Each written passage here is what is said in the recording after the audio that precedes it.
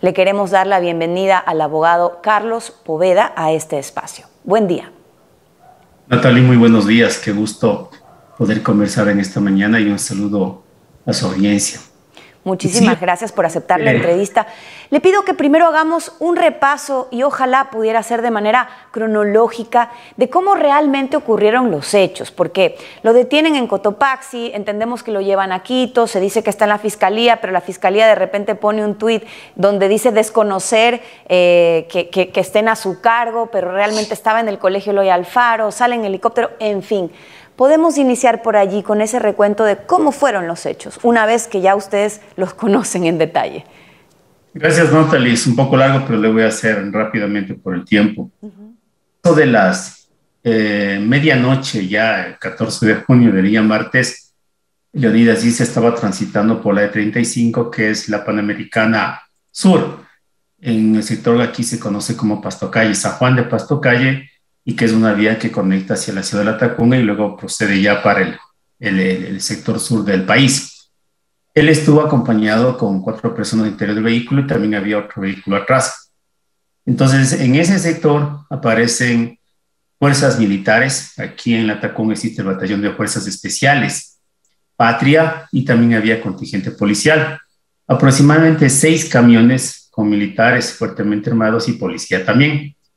Obviamente los militares hacen control de armas y explosivos y se entendía que iba a haber un control sobre armamento.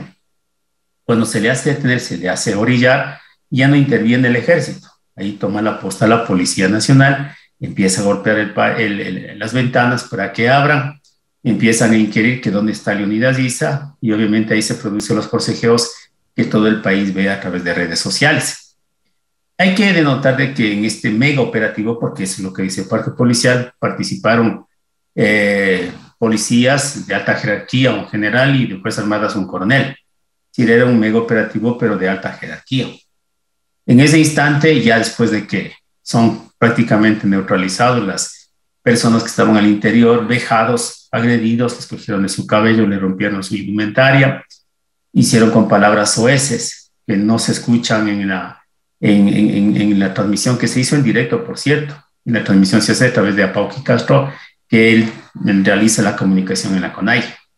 Pues en ese momento ya Leonidas Diza es eh, aprendido, eh, no se identifica qué mismo en lo que está pasando, no se exige una boleta de detención provisional, no se le informa por qué se le detiene y se le traslada en una camioneta doble cabina blanca, que luego después de la investigación que realizamos, no pertenece a persona alguna, pero que estaban siendo utilizados por personal del Estado y básicamente la Policía Nacional. En ese instante ya empieza el relato de Leonidas, manifiesta de que le llevan una gasolinera, le cambian de vehículo a un vehículo ya oficial y en caravana se dirigen a la ciudad de Quito. En, la, en el límite provincial entre Cotopaxi y Pichincha, detienen la camioneta y le dan lectura de los cargos, tanto en Quichua como en castellano sobre un presunto delito de sabotaje. El artículo 345, es más, hay un video en donde relata, es decir, la lectura no fue al momento de la aprehensión, sino posterior. Luego es trasladado a la ciudad de Quito, nosotros aquí en cambio en la Tacunga, ya conociendo esta situación de madrugada, 5 de la mañana, fuimos a presentar una acción de habeas corpus precisamente para saber el paradero, porque no sabíamos dónde se encontraba. Lamentablemente la función judicial de Cotopaxi no estaba atendiendo a esa hora. Entonces, mientras se desarrollaba la situación, a las 8.32 presentamos ya el habeas corpus, el sorteo del juez respectivo, y en horas de la mañana ya empezamos a tener algo de información, no directamente de la unidad ISA, porque no se comunicó, sino que eh, habían ya el rumor de que estaba en Quito una, en las salas de flagrancia por la presencia militar y policial. Luego, posteriormente, la Fiscalía General del Estado emite el comunicado que usted dice, Natalie, con toda razón, y lo que dice son que no se prestará para detenciones ilegales y arbitrarias. Y esto es más grave aún, es decir, que la misma Fiscalía en ese momento estaba aceptando que la detención de la unidad era ilegal y arbitraria. Luego aparece un parte policial que supuestamente estaba en la Fiscalía de Cotopaxi a las 10 horas 26 minutos. Entonces ahí se abre otro escenario, que posiblemente era una flagrancia pero no sabíamos de qué era la flagrancia. En esas mismas horas ya conocimos porque hay videos, por ventaja, Natalia, redes sociales videos, que le ven lo que usted dice, sale del colegio militar de Ley Faro fuertemente custodiado contra una sola persona y esposado. Él estaba esposado.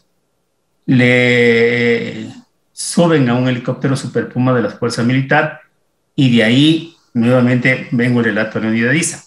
Él es trasladado a la base militar de la Fuerza Aérea Ecuatoriana, donde queda ubicado el Aeropuerto Internacional Cotopaxi. Pero no se queda ahí en esos momentos, sino que luego es trasladado a la cárcel de Cotopaxi. Por eso es que los manifestantes van a la cárcel y ahí se producen aprehensiones. Le retiran nuevamente de la cárcel y nuevamente le llevan a la base militar. Más o menos a las 16 horas 45 yo tengo el contacto de que le iban a tomar una versión. Yo me voy directo a la, base militar, encuentro eh, personal militar y personal policial, cerca de por lo menos una centena de personas. Ese era el primer filtro. El segundo filtro era seguridad privada y policía. Y hasta que logro contacto al fin con Leonidas dice después de 17 horas de incomunicación y converso qué es lo que pasa. Ahí estaba presente la fiscal, que no es la fiscal que luego formuló cargos, es otra fiscal diferente. Entonces ahí pudimos conversar y él se cogió el derecho al silencio porque legalmente no se puede dar versiones en recintos militares. Eso es inconstitucional. A las 17 horas recién tuvo contacto conmigo, él nunca tuvo contacto con su familia, ni siquiera se le ofreció alimento y estaba en una situación totalmente de una tensión sumamente fuerte, sumamente fuerte. Y yo, yo le puedo decir que yo vi personal policial fuertemente armado, había muchos controles y en esa situación lo que ocurrió. Luego, posteriormente, estamos esperando que se dé el habeas corpus porque era legítimo, pues, o sea, darse el habeas corpus para ver la situación legal de él. Pero eso no ha sido resuelto todavía, ¿no? Ya fue resuelto, Natalia, eso, con esto concluye. Entonces, en, más o menos a las 20 horas, el juez, el juez, porque primero pidió de que certificaran la policía y los militares que dos encontraban Leonidas Isa, una providencia que llama la atención porque ¿cómo va a preguntar a las personas que estaban involucradas?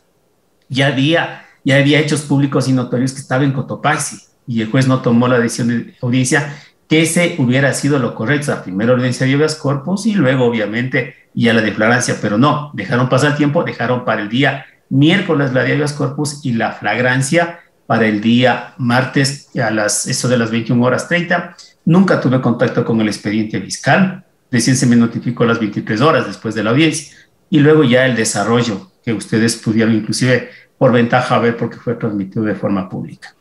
Está claro, abogado, que no son procesos cotidianos, pero se catalogan como ilegales. ¿Qué derechos se violentaron específicamente? Mire, cuando usted me pregunta, porque la pregunta básica es, bueno, ¿qué es lo que pasa? O sea, porque uno necesita también generar su estrategia jurídica. ¿Por qué se le detuvo? Entonces dicen que no hubo una detención provisional, no hubo una decisión de fiscalía, se detiene por delito flagrante. Entonces, cuando usted hace la introducción de este caso, no es correcta esa información suministrada por fiscalía. Lo que ellos dicen es que desde el 13 de junio han estado hablando eh, en situaciones de, de la movilización. A él le acusan de que paralizó la E35.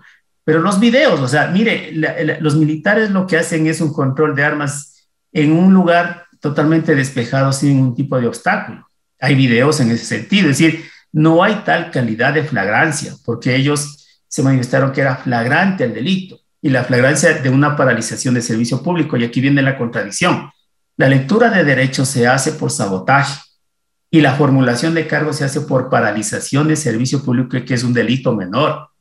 Por eso es que nosotros nos habíamos solicitado también las medidas cautelares alternativas como era la presentación periódica y la prohibición de salida, porque evidentemente no había elementos que, encajen en el tipo penal y tampoco se justificaba que se emita una privación de libertad. En, esa situación sí, hay derechos violentados, precisamente la lectura de derechos, la incomunicación con el abogado, eh, la, presencia de él en bases militares y policiales, la situación de impedir el, el derecho de defenderse. Aunque la jueza haya dicho que no hay ninguna ilegalidad, que la detención es correcta, la situación no va hacia ese lado. Aunque el habeas corpus, que por, eso es que digo yo, sugiere muchas cosas en el sistema de justicia, porque debió darse primero el habeas corpus y luego la formulación, se hizo al revés. se da la formulación, recupera la libertad, que está restringida obviamente, y lo que el habeas corpus dice, no, como ya está en libertad, está libre señor, ya no procede el habeas corpus. Como se hicieron los procedimientos legales, porque fue delito flagrante, entonces tampoco nos conceden el habeas corpus. O sea, es concatenado, ¿no? Y a uno obviamente le ponen unas situaciones medias especiales. Y ¿Cuál en es la sanción, abogado, que tiene el delito de paralización de servicios? Ya, con esto concluyo. Y otra cosa que es inusual, la fiscal dice que va a procedimiento directo y ya tenemos fecha para la audiencia que es el 4 de julio. Eso supone que la fiscal ya tiene todos los elementos probatorios para acusar. Pero aquí viene un tema, ¿de qué le acusan? De autoría mediata. Es más o menos la persona que instiga, la persona que es intelectualmente la responsable. Y la pregunta es, ¿hay flagrancia en, en autoría intelectual? ¿Cuál es el nivel de flagrancia? Y además, si habla de autoría inmediata, debe haber una organización que ejecute los actos materiales. El único procesado es el señor Leonidas Issa. No hay otras personas más. No hay demostración de que había otras personas más realizando actos o ejecución, porque se le acusa de que es responsable de la paralización de los arroceros, de los bananeros, de la quema del patrullero en Molleturo y de obstrucción de vías, pero el señor Isa y al menos los elementos no, no dan, o sea, no, no establece que haya habido una relación directa de los actos que él dice con los actos que se ejecutan. Además, son organizaciones totalmente diferentes. Pero si en este caso, perdóneme que le interrumpa, pero como usted señala, es un, autor, es un tipo de autoría intelectual. Eh, para eso no sería suficiente evidencia, por ejemplo, simplemente un video del presidente de la CONAIE eh, invitando o señalando a que las bases se levanten y, y protesten. ¿No podría ser eso una evidencia? No, no es correcto porque la autoría intelectual debe demostrar un hilo conductor de lo que yo dispongo a lo que se ejecuta. Es decir, explícitamente deberíamos escuchar a Leonidas Isa decir, cierren la vía tal, tal y cual. Y ahí podría ser juzgado como autor inmediato. Natalie, debe haber una relación, yo le pongo, los arroceros en la costa. ¿Cuál es la relación con el señor Leonidas Isa? Claro, ninguna. Pero digamos, en la provincia de Cotopaxi quizá pudiera haber algún video en el que se escucha al presidente de la CONAIE llamando a hacer un acto como tal. Puede haber, Natalie, vamos al acto. Puede haber ese pronunciamiento, pero si la E35 estaba libre, ¿cómo enlace el tema? De acuerdo. Entonces, tiene que ser específicamente con esta vía por la que le detienen. No se le puede acusar de, de autor inmediato, autor mediato en, otros, en otras paralizaciones de servicios. No, Natalie, eh, la, la, la, norma, la formulación es la paralización del servicio público del 35 en ese sector. Y no hay evidencia de la paralización porque el tráfico era fluido. En ese sentido, entonces, al carecer la evidencia a la Fiscalía, ¿cuál creen ustedes entonces que va a ser el desenlace de esa audiencia que está puesta para el 4 de julio? Mire, debería darse y ratificarse una sentencia absolutoria, pero en las condiciones como está el sistema de justicia, dudamos mucho. Yo creo que hay una hoja de ruta. Es un pensamiento profesional porque uno debe establecer varios escenarios de que lo que quieren establecer es una sentencia condenatoria. Le he escuchado yo al ministro Carrillo decir muchas veces, antes de la señoriza, ahora es el procesado, mañana irá el sentenciado. Por ventaja tenemos también recursos. Eh, lo que nos preocupa es el grado de objetividad de la Fiscalía, que lamentable dejó mucho que desear en la audiencia. Solamente para comentarle, eh, ¿Cómo se justificó la fiscalía de que le hayan trasladado de Cotopaxi a Pichincha? La fiscal dijo que se justificaba porque debían hacerle un eh, certificado médico en Quito que no podían hacer en la Tacunga, y eso es ilógico. La Tacunga está a 10 minutos del sector de aprehensión, Quito está más de una hora y media, entonces no, eh, es ilógico. ¿Qué esperamos? Que se ratifique la ausencia, es lo que queremos, pero en las condiciones de la justicia y lamentablemente después de los años que también pude escuchar del caso Yori, hay situaciones que dejan mucho que desear. En ese sentido, usted hablaba de posibles escenarios, como le corresponde también hacer en el ejercicio profesional. El peor escenario para ustedes entonces sería que él sea encontrado culpable de, ese cargo en el que le acusan. Y en ese sentido, ¿cuál sería la, cuál es la pena de ese cargo? ¿Y qué es Hasta lo que tres años. Hasta tres años podrían generar agravantes, pero también hay otro dato muy interesante que ustedes están conocer por ventaja, las organizaciones de derechos humanos en las horas que yo le había manifestado también presentaron una solicitud de medidas cautelares a la CIDH. La CIDH el mismo día ya aperturó un caso, está solicitando información y lo que queremos también es el apoyo internacional. Si, si nosotros dudamos de la imparcialidad de la justicia, la objetividad de la fiscalía, lo mínimo que podemos hacer es recurrir al sistema internacional, que por ventaja no solamente INRED, también Amazon Frontlines me, me han informado que están gestionando eso. Nosotros también nos uniremos en las próximas horas para que genere medidas cautelares que garanticen un debido proceso. Ya empezamos mal, Natalie, lamentablemente. Proseguimos mal y esperamos de que esto de alguna manera se enderece en el debido proceso y garantizando la independencia judicial, que es un factor en estos momentos bastante sensible. Ahora hemos visto justamente el día de ayer declaraciones del presidente Guillermo Lazo en el que convoca nuevamente al diálogo. ¿Su defendido está dispuesto a este diálogo? ¿Es posible tener algún tipo de puente? Natalia, yo creo que las condiciones del diálogo en estos momentos son muy complicadas. ¿Por qué motivo? Porque el día lunes se le detiene se convoca a un diálogo ya con un, con un llamado a un juicio en procedimiento directo, sigue los seguimientos, sigue el hostigamiento, y eso sí quiero diferenciar. El pronunciamiento que haya hecho el señor Santi como Pachacuti no es necesariamente vinculante al movimiento indígena y a la CONAI, porque ayer salieron titulares indicando que el sector indígena se iba a sentar a conversar. Lo que diga Marlon Santi y Salvador Quispe son un bloque de Pachacuti, pero el movimiento indígena no tiene una situación de vinculación directa. Aquí a, quien debería establecer las condiciones, quien debería pronunciarse es el señor Isa. más allá eso, sí hay cierta confusión, ¿no? Yo creo que debe haberlo, o sea, y tiene que existir por la pacificación del país, debe dar un primer paso, pero también recuerde que en las mesas de diálogo, cuando fue invitado el señor Isa y que él sí fue con las autoridades indígenas, se lo trató de la peor manera al ingreso. Y han estado un año pidiendo diálogo, soluciones yo sé que en la práctica 10 puntos va a ser bien complicado, pero por lo menos eh, dialoguen, digan lo que pasa y no necesariamente tiene que ser Carondelet. Eh, puede ser otro tipo de espacios. Me alegro que haya instancias como la iglesia, como otro tipo de, de organismos que se presten para mediar en el asunto, porque tiene que ser así, pero con un diálogo sincero, directo, y que sobre todo se cumpla la palabra, no se incumpla, creo que esa es la debilidad del gobierno, el hecho de mantener mesas de diálogo, pero no generar ningún tipo de soluciones. Habrá situaciones que no se pueden, hay que ser sincero, pero habrá que sí se pueden hacer y que lo básico para que termine esta situación yo creo que es sentarse como personas racionales, personas sensibles al país, ceder y ceder. Es cuestión de que yo no converso, yo no cedo y bueno, quiero conversar, pero le detengo y yo voy a juicio y le trato de esa manera. Esa no es la forma de dialogar. Por supuesto. Queda, queda clarísimo entonces dos puntos importantes que usted menciona. Primero, que sí podría haber la posibilidad de una negociación, que los 10 puntos no son en ese sentido radical de que tienen que ocurrir los 10, son propuestas. Podría haber una, especie de acuerdo en el caso de que existiera diálogo. Y otro punto que usted señala muy importante también es que una cosa es dialogar con la CONAIE y con las movilizaciones, con los eh, movimientos y pueblos de nacionalidades indígenas, y otra cosa es dialogar con el brazo político que es Pachacutic. Entonces, eso también tiene que tener claro, sobre todo las autoridades eh, que hacen lobby político desde el gobierno, ¿no? También importante que igual la ciudadanía entienda las diferencias. En ese sentido, y entendiendo estos dos puntos que son extremadamente importantes, ¿cuánto tiempo más prevé usted que duren las movilizaciones eh, si es que no se llega a un acuerdo y si no hay diálogo? Yo creo que ya el punto de partida queda en el gobierno, y doblemente Natalie, porque después de haber sufrido todas estas vejaciones, porque yo te digo que pasar de manera directa con el señor Isa y que no haya responsables, ¿no? Precisamente yo creo que debe haber una investigación. Estamos ya presentando una denuncia para que se investiguen estos hechos que no pueden quedar en impunidad. Y sobre todo es una manera también de protección, ¿no? Es una manera de protección normal y jurídica, legítima además.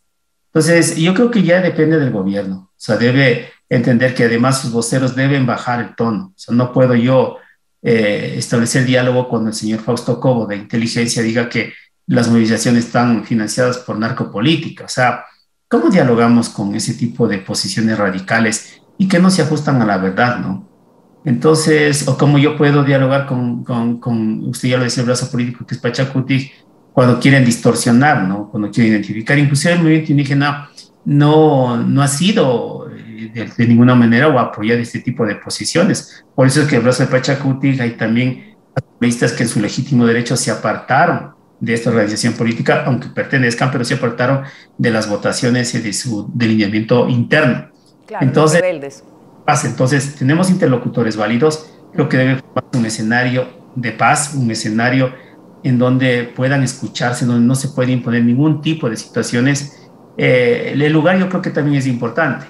Yo creo que debe ser un lugar medio que, que, diga, porque yo como Leonidas dice ir a Cadrondeler, a mí me daría un poco de temor ya, créame. Entonces creo que debe también ser el escenario, pero bajar los tonos, dialogar, todos los días son válidos y no ponerse en esos espacios de que yo tengo la razón y yo también no tengo la razón. Por lo tanto, yo creo que en este momento, Natalia, es mi criterio muy personal, yo no soy de la CONAIE, de ningún partido tampoco, pero como ciudadano creo que debe ser un escenario de pacificación y que baje los tonos. Y el presidente debe ser un líder en la crisis. Si no está a esas alturas, obviamente la situación se puede salir de control. Le agradezco muchísimo por su apertura. También es importante tener eh, la, versión del presidente de la CONAIE, pues para tratar de llegar a una solución también. Nosotros como medios de comunicación también tenemos la responsabilidad de darle las voces a todos los protagonistas de lo que está ocurriendo. Le agradezco muchísimo nuevamente por estar aquí y están las puertas abiertas. Natalie, le agradezco porque el papel que desempeñan ustedes en esta crisis es vital. Yo creo que no hay que tomar partido por ningún lado, sino verificar porque los ciudadanos queremos estar informados con veracidad, con frontalidad y escuchando a todos los sectores, no solamente a uno. Muy gentil. Muchas gracias, le agradezco también la gentileza. Y a ustedes, queridos eh, seguidores y, televidentes de este noticiero, pues también decirles que regresamos, como siempre, con la información verificada y actualizada en La Clave el día lunes. Que tengan buen fin de semana. Feliz día, por cierto, también este día domingo a todos los padres. usted que duren las movilizaciones.